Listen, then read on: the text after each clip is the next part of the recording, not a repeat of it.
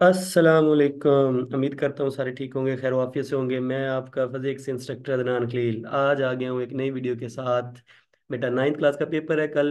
Math का। Math is one of the tough subject और बहुत सारे बच्चे जो हैं वो परेशान हो जाते हैं कि जी मैथ का पेपर कैसे अटैम्प्ट करें? हमें मैथ आती नहीं है।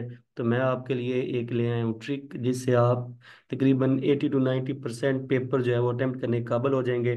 तो करना क्या है? मैं आपको यहाँ पे एक चीज़ बताऊँगा, जो चीज़ें मैं जैसे आपको बताता जाऊँगा, आपने वो वैसे करते जाना है। लेकिन एक बात तो आप मेरी समझ गए होंगे, जो सबसे पहले लाइन लिखी हुई है, नज़र आ रही है?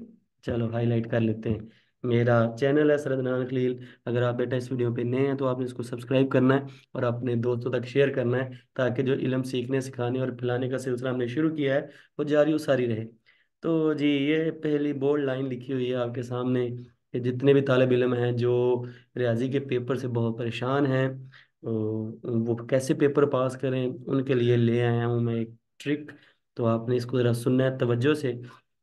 पहली बात तो ये है कि बेटा, जितने भी तमाम यूनिट्स के आखिर पर एमसीक्यूज दिए हुए हैं, जितने भी यूनिट्स एमसीक्यूज दिए हुए हैं, सारे के सारे, ठीक है, वो आपने लाजमी कर लेने हैं और उनमें से बनते हैं कितने नंबर? पंद्रह नंबर। कितने? पंद्रह, ठीक है।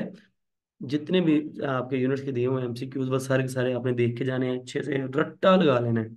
आपके पंद्रह नंबर कहीं नहीं गए वो, ठीक है? फिर उसके बाद रियाजी की किताब में जो आखिर पर तरीफे दी गई हैं, ठीक है? वो बीस तरीफे वो याद कर लें, अच्छे से इनशाला उसमें से भी दस नंबर पक्के ठीक है? उसके बाद जो यूनिट नंबर ट्वेल्व है, उसके जो थ्योरम्स हैं वो आपने अच्छे से याद कर लेने, ठीक है?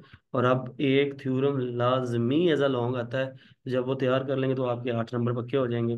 तो फिर कितने हो गए? पंद्रह और बीस, पैंतीस, जिसको आप इंग्लिश में थर्टी फाइव कहते हैं।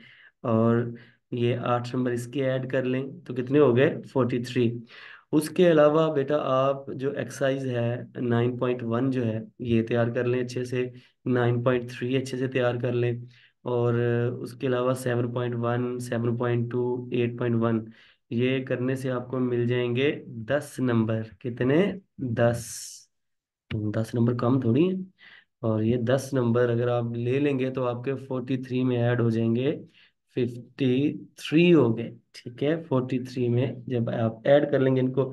और अगर आपने लॉन्ग करना है तो लॉन्ग के लिए भी ये जो एक्सरसाइज है वन पॉइंट सिक्स और थ्री पॉइंट फोर ठीक है, इनसे एक लॉन्ग आपका कवर हो जाएगा और और उससे भी आपको मिल जाएँगे आठ नंबर और इस तरह आपका जो है, तकरीबन तकरीबन फिफ्टी वन मार्क्स का, कितने मार्क्स का?